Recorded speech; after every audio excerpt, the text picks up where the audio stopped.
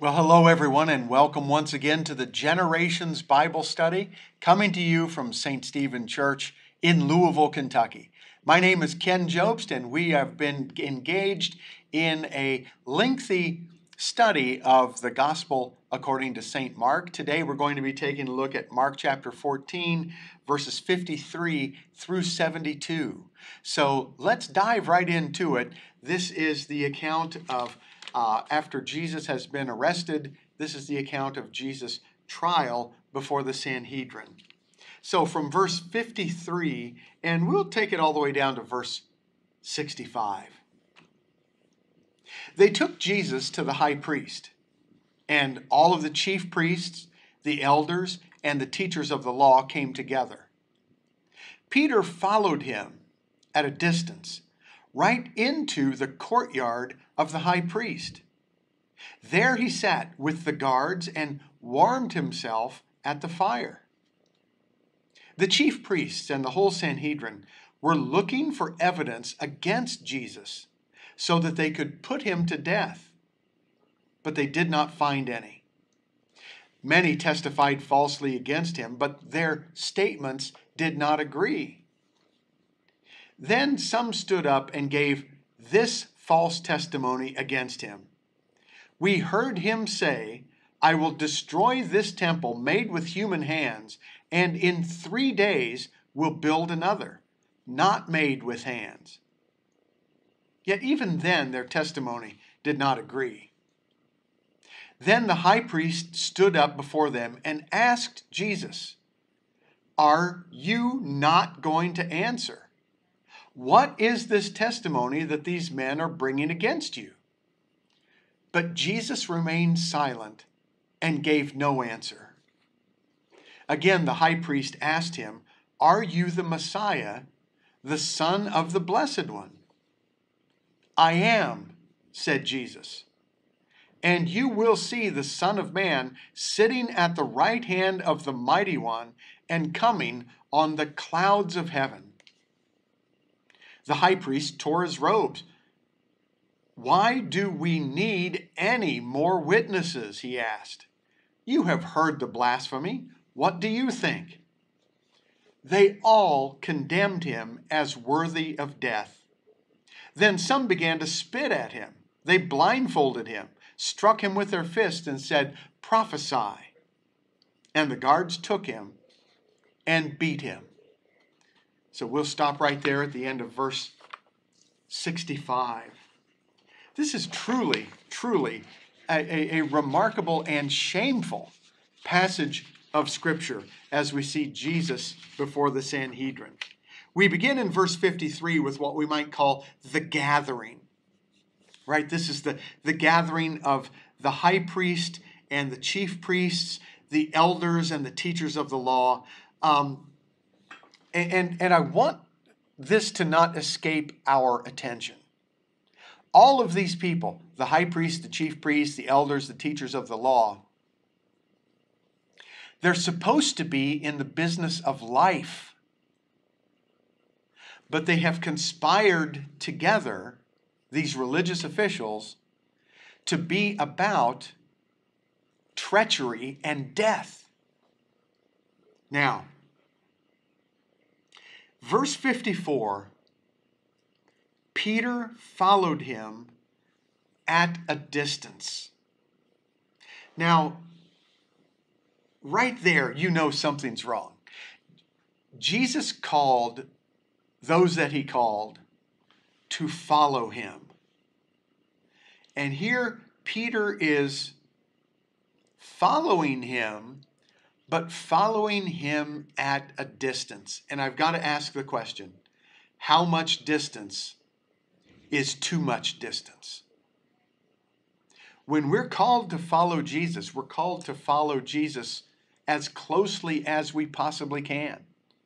If we decide to follow Jesus at a distance, as Peter does, we'll find that there's all kinds of trouble awaiting us when we when we take that tack. Oh, I'll follow Jesus, but only at a distance. I don't want to be too closely identified with Jesus, which was precisely Peter's problem.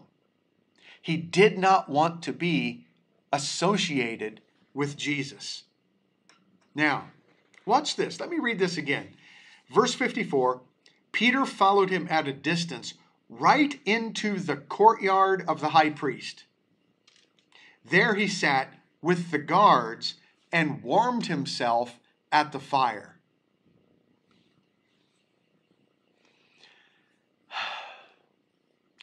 Sometimes it's difficult to tell the difference between profound bravery and profound stupidity. I'm just saying. Here's Peter. He's followed Jesus at a distance. So Jesus arrives in the, the courtyard of the high priest and is actually taken into the dungeon, taken into the lower level of the, uh, the, the high priest's house. But Peter follows, follows at a distance, and arrives in the courtyard of the high priest. Now, he's. Would you think that's a dangerous place to be? If you're wanting to not be associated with Jesus and they just bring him into the, the high priest's house, right? Here's Peter. He's in the courtyard of the high priest. And what else? He's sitting with the guards. Now that takes some chutzpah right there to, to sit with the guards in the courtyard of the high priest. And watch this.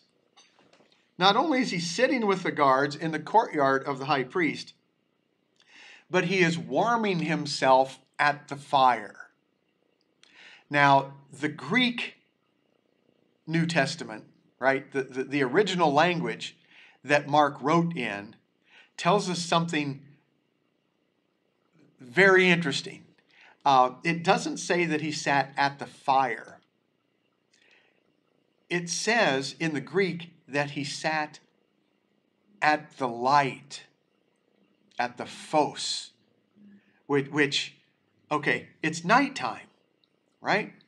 It's nighttime. He enters into the courtyard of the high priest. He sits down next to the guards. He sits down next to the guards in the light. He's, he's, he's sitting at the fire. So anybody walking by could recognize him. No, you're not. Uh-uh. You're not following me here, right? What was he doing just a little while ago? He had his sword out and he's cutting off the, the ear of the high priest's servant. Dude, don't, you know, it, that, that's back in Gethsemane and now he's walked a quarter mile. People don't let that stuff go just because you walked a quarter mile away from where it happened. Now, of course, G- Jesus restores the ear of the, the high priest's servant, but still, I, you got to imagine that some people were still a little testy around that whole episode. But here's Peter, big as life, walks, you know, he's following Jesus, but at a distance, and he goes right up into the courtyard of the high priest. He sits down next to the guards, right? Oh, oh, wait a minute. Whose guards? The high priest guards. Get out. The high priest guards, who just a little while previously, right? Mm.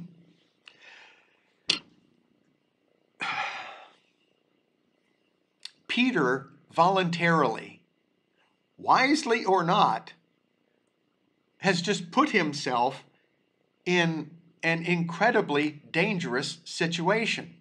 I've got to ask the question why would somebody do that? Why would they do that? Unless Peter is thinking there's going to be a revolution and I want to be at the heart of it. There's, there's going to be something big go down and I have to be where Jesus is. I, I have to be at the heart of whatever coup attempt, what, whatever revolution, whatever's going to go down, Peter's feeling like he has to be at the center of it. And let me tell you, in the courtyard of the high priest, you're at the center of it. Okay. Verse 55. The chief priests and the whole Sanhedrin were looking for evidence against Jesus so they could put him to death. Get out. The Sanhedrin is looking for evidence, which means it's going to be made up evidence, right? It, it, they're going to find what they're looking for. So the Sanhedrin is looking for evidence against Jesus so they can put him to death. Now, I got to tell you what, hold the phone here a minute, right? The Sanhedrin is the Supreme Court of Israel, right? The Supreme Court is not, think of America's Supreme Court. The American Supreme Court is not designed to go out and look for evidence so they can put somebody to death. No, that's not what the Supreme, Supreme Court does, right? The Supreme Court and the Sanhedrin, you know, the Sanhedrin was to evaluate the evidence that was brought to it. They were not supposed to go out and try to fabricate evidence, right? With, with a foregone conclusion that we're going to find, we have to find the evidence in order for us to be able to convict this person of a capital crime and put him to death. That's not how justice works. No, no, no. And, and, by the way, look, look at America. The Supreme Court does not investigate cases. The Supreme Court hears the evidence that is presented as a result of an investigation. They don't they're not the one going out investigating, trying to find fingerprints and crime scenes and yada yada yada. You know, police are going to go do that. The Sanhedrin is supposed to impartially sit back and with cool demeanor consider the evidence that's brought before it. But no, this Sanhedrin is particularly looking for evidence that will support a foregone conclusion of a death sentence and a death verdict. So, the chief priest, they're looking for evidence. They find some people who are going to give false testimony, but watch. Oh, they give the false testimony. Oh, but their statements didn't agree right? You have to establish everything on the testimony of two or three witnesses. They found the people who would hype up a charge against Jesus, but they all stuck to their own stories and they, they wouldn't come together. So, so there's, there's no agreement among the shady stories. Then, verse 57 some stood up and gave false testimony against him. We heard him say, I'll destroy this temple built with human hands, and in three days build another not made with hands. But even then, there, the, the testimony itself did not agree. Right? So this this is getting to be, come on, it's late at night. It's probably like one in the morning, two in the morning, three in the morning. The, the high priest wants to get to bed. The high priest, you know, uh, well, the high priest needs some rest, but he really wants to be able to put Jesus to death. So he's staying up, he's cranky. And when he can't get the false testifiers to agree on their false testimony, you've got to see the scene here. The, the, the chief priest is ready to go nuts. He's just ready to go crazy. And verse 60 Then the high priest stood up before them and asked Jesus, right? The, the high priest is going to cut through the red tape here and just get to the, the meat of the situation. High priest stood up before them and asked Jesus, Are you not going to answer? What is this testimony that these men are bringing against you? Right? So, so here's the deal. These dumb schlubs that I've brought in to testify false testimony against you, they can't get their act together to the degree that they can give a coherent statement and two of them agree on it so we can go ahead with the proceedings. So the, the high priest, ready to pull out his hair, just directly asked Jesus, Are you not going to answer? What's the test? What's this testimony? Why are these guys so messed up in their testimony that they're trying to bring against you? Do you see the utter frustration and the utter ridiculousness of what the high priest is doing here.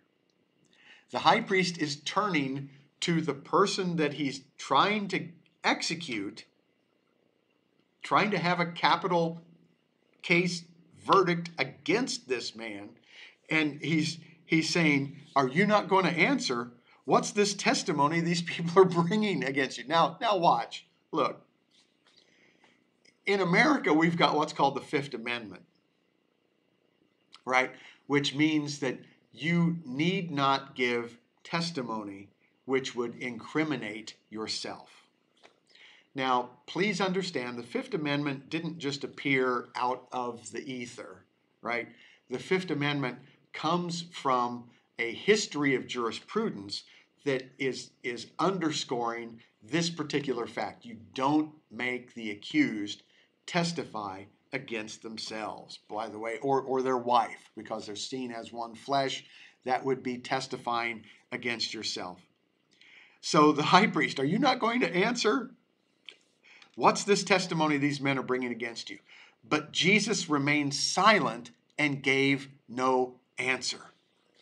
Good for you, Jesus, right? That you're exactly the kind of client that most attorneys would want to have.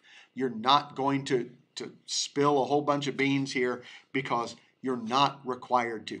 Jesus remained silent and gave no answer. Again, the high priest asked him, Watch, now the high priest is going to ask a different question. Again, the high priest asked him, Are you the Messiah, the Son of the Blessed One? And here, Jesus answers. And he says, Ego eimi, which is Greek for I am, said Jesus. And you will see the Son of Man sitting at the right hand of the Mighty One and coming on the clouds of heaven. Now, wait a minute. I, I, I want us to really understand what Jesus is saying here. I am, by the way, in the Gospel of John, there are the, the repeated I am statements of Jesus. I am the way, I am the truth, I am the life, right? The, the, the, the I am the good shepherd, I am the door of the sheep, all of those I am statements of Jesus, which remind us of how Jehovah, how God, the Heavenly Father, described himself to Moses, I am that I am. Right? So, so this, this is all along that line. I am, said Jesus, and you will see the Son of Man sitting at the right hand of the Mighty One. Now, where's that happen? That happens in heaven, right? Coming on the clouds of heaven. That is, you'll see Jesus come again. Now, when does that happen? When does that happen? It happens after the death sentence is carried out on Jesus. So Jesus is telling the high priest, Yes, I am the Messiah. Yes, I am the Son of the Blessed One. And beyond that, after you kill me, you'll see me seated at the right hand of the Father, coming on the clouds with, with, with power and you know, all majesty. The high priest tore his clothes. What do we need? Why do we need any more witnesses? You've heard the blasphemy. What do you think? Now, this is this just blows me away. That this so the high priest tears his clothes, tears his robe which he is supposed to do when he hears blasphemy. When he hears blasphemy, it turns out Jesus is telling the truth. So it is not blasphemy. He's tore his clothes, but he says this We don't need any more stinking witnesses. You know, we, we don't need any more witnesses.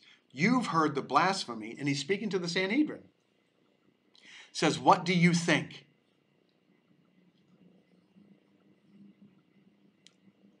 You've heard the blasphemy.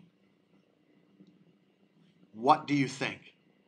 They all condemned him as worthy of death. I want to say something about that right there. They all condemned him as worthy of death.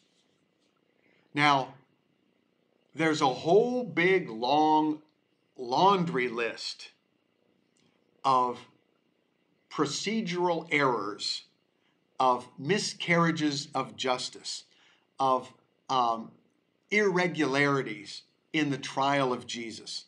And right here is one of them. I, I've got a big list of them, right? But right here is one of them. And it's this that the Sanhedrin's rule was if there is a unanimous vote on a capital crime, then the proceedings had to stop and a new vote needed to be taken. If absolutely everybody that was, was present, if, if, if all 71, if everybody was there, by the way, that's another thing. Were all 71 of the Sanhedrin present at this juncture? Were, were they present here? I would argue no, all 71 were not. I would argue that there was a quorum of the 71, and the quorum could have been as small as one third for them to have done business. But uh, remember, like Joseph of Arimathea, remember Nicodemus, you know, these are, are people who would have been a part of the Sanhedrin, but may not have been present at this particular time. But the Sanhedrin would have gone ahead with their business. Now, now here, here's the rub. As I said, in any case which was a capital case, in which the Sanhedrin voted unanimously for, to convict someone of a capital case, which meant that person would be executed. Whenever that happened, the Sanhedrin was to stop its proceedings and take a step back and reconsider.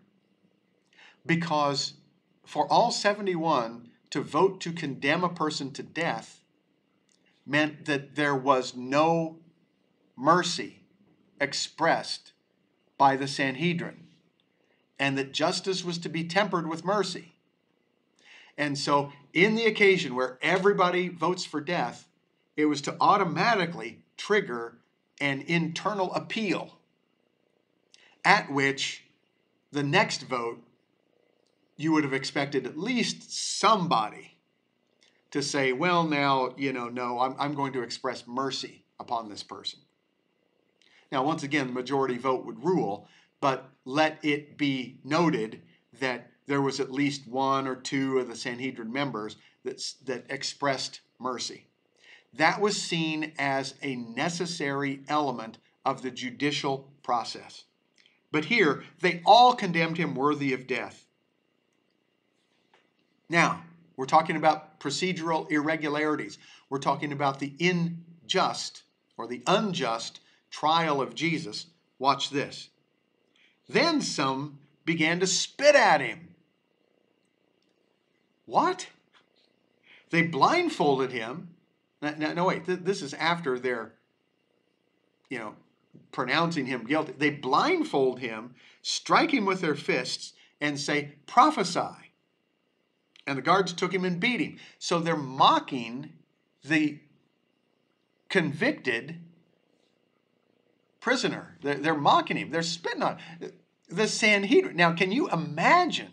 Can you imagine in your wildest dreams the Supreme Court of the United States, where the justices, upon finding somebody guilty or determining somebody to, to be culpable for a particular crime, can you imagine a situation where they're in their judicial robes as they are seated at the bench, that they stand up and spit on the person that they just pronounced guilty? Can you imagine that the Supreme Court, can, can you, and I'm just saying, back in the day, could you imagine Ruth Bader Ginsburg getting up and slapping somebody, hitting them after they've just been you know, found guilty or whatever. They spit at him, they blindfolded him, they struck him with their fist, they mocked him, saying, prophesy. The guards took him out and beat him. Okay, I got to say something here. Um, yeah, the Sanhedrin went crazy. They just went Crazy. I'm sure somebody can give a better catalog than I can, but I, I want to add to these two episodes eight more instances of illegalities, procedural malfunctions in the trial of Jesus. And, and you know, uh, this this list will add up to ten when you add, you know consider you know there was no mercy shown. Number one, there the the justices berated and mocked and spit at and and struck and blindfolded the the prisoner. Add to that, watch this. There were not supposed to be any trials during Passover anyway. Right? It, it, there's not supposed to be any trials during any of the feasts. Next, you know, the Sanhedrin was supposed to vote by individual votes, not by acclamation. You, you were supposed to go have a roll call vote. Okay, you know, uh, Nicodemus, what do you say? Okay, Joseph of Arimathea, what do you say? It was supposed to be a roll call vote, not a voice of acclamation. And you know what? For a death penalty case, which is what they just did here, there's supposed to be one day that passes between the sentencing and the carrying out of the sentence. That doesn't happen. By the way, from a greater perspective, the Jews lacked the authority to execute anybody anyway. That was supposed to be a Roman thing. Once again, there was supposed to be no trial at night. That was just an indication of a, a kangaroo court, right? If somebody was going to hold a trial at night, that told you from the from jump that it's going to be some kind of shady thing. The Sanhedrin was not supposed to meet at night. Do you ever wonder who Jesus' lawyer was? Right, gotcha. Jesus was not afforded a lawyer. The Sanhedrin was supposed to allow for the accused to have counsel or representation at any time. That was completely set aside in the case of Jesus.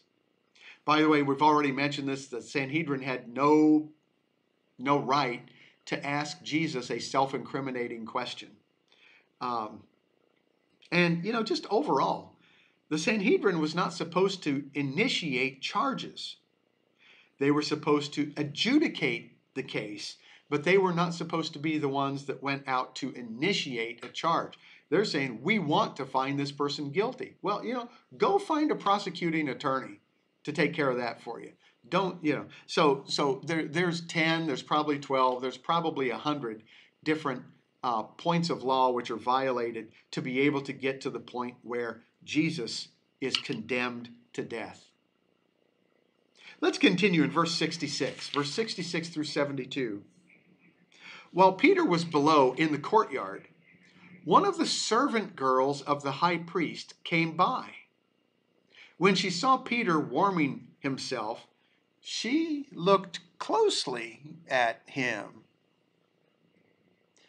You also were present. You also were with that Nazarene Jesus, she said. But he denied it. I don't know or understand what you're talking about, he said, and went out into the entryway. Hmm. Verse 69. When the servant girl saw him there, she said again to those standing around, This fellow's one of them. Again, he denied it. After a little while, those standing near said to Peter, Surely you are one of them, for you are a Galilean. He began to call down curses and swore to them, I don't know this man you're talking about. Immediately, the rooster crowed a second time. Then Peter remembered the word Jesus had spoken to him Before the rooster crows twice, you will disown me three times. And he broke down and wept. Oh my goodness. Here's Peter, brave Peter, who followed Jesus at a distance into the courtyard of the high priest, sat down next to the guard, had his face right up next to the light so everybody could see him. And what happens? The servant girl. Hmm. You know, um, the servant girl set Peter on the run. He, he was sitting next to the fire. The servant girl says, Wait a minute, aren't you with the Nazarene out here? I thought I saw you with him. Peter retreats from sitting next to the fire. He retreats from the fire to go out by the entryway. He can't wait to get away from this servant girl.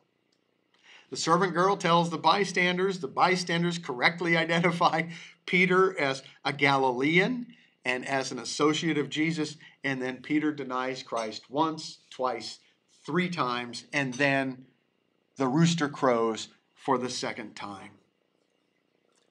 By the way, the, the, the time of the rooster crowing was typically between 3 a.m. and 6 a.m. You know, there's always going to be some rooster in town that gets up at 4 and starts, you know, uh, starts crowing at 4 o'clock in the morning. The, the second rooster crow may well have been, and, and by the way, th- this was the vernacular, this is the way it was referred to back in the day. Um, that second rooster crow may have been actually the trumpet call of reveille for the Roman army. That, you know, that there would be, they didn't have exactly what you would call a bugle, but that they, they would have a trumpet call to awaken the garrison. And that was called the cock's crow. So the cock's crow was typically like 5:30 in the morning. You would get, you know, you would hear the Roman equivalent of the army bugle call reveille to to awaken the troops. So Peter hears it and he's devastated. Says he broke down and wept. And, and this this word for wept doesn't mean you know dab a couple of tears. It means that he was ugly crying with snot and everything else going on. He was absolutely despondent. Now he's brave enough to enter into the courtyard of the high priest but upon finding out you know his own cowardice in denying Jesus three times and basically, you know, denying Jesus to a servant girl. Um, yipes. Yipes. And those denials, you know, there's a sense in which the denials are similar. There's a sense in which the denials are different. You know, he, he, he denies being an associate of Jesus to the servant girl. That's one thing. But, but then there's other people. And when there's other people that caught wind of what the servant girl was was talking about, you know, Peter denies Jesus to them as well. Uh, so, wow. So here's Peter. And he's devastated. He's weeping. Why is he weeping? He's weeping because he realizes his failure. And he realizes the depth of his failure. Have you ever felt that your failures made it impossible for Christ to use you again. Right? That's where Peter is. Now, it's important for me to say that's not the end of the story. Peter's denial is not the end of the story because Peter is going to get restored.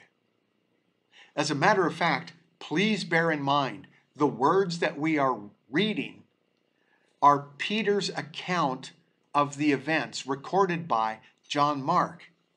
So the very fact that we can read the Gospel of Mark is testimony to us, to a degree, it's testimony to us of the restoration that Peter experienced. And John goes into more detail about what that restoration actually looked like. You know, feed my lambs, feed my sheep, feed my lambs, uh, as, as Jesus told Peter. And, and also, remember, you know, uh, in the post resurrection appearances of Jesus. He says, I'm going to the Galilee, go, go tell, tell the others, and Peter. You know, he makes a point to, uh, to tell Peter about the resurrection. Well, that, this actually concludes chapter 14, and I know it's a long chapter, it's 76 verses or so, but uh, you know, it so much is going into that, and we're seeing here the illegal and immoral trial of Jesus. And once again, we're seeing in juxtaposition Jesus and Peter. They're, they're both in this thing as they progress through. Let's have a word of prayer together as we uh, conclude this lesson. Lord, we thank you for your, your love that never fails. We thank you for the, the resoluteness of your spirit, uh, even in approaching Gal- in excuse me, in approaching Calvary and uh, the cross. We thank you, Heavenly Father, for your goodness and your mercy that over overwhelms the, the goodness and mercy that was supposed to be there for you in the justice that would have been administered by the Sanhedrin. Lord, we know that you are the God of justice. And so we pray for your grace and mercy to be with us this day. In Jesus' name, amen. Well, once again, from St. Stephen Church in Louisville, Kentucky, this has been Ken Jobst with the Generations Bible Study. We will continue this study next time, and I hope to see you then. Take good care. God bless you. Bye bye.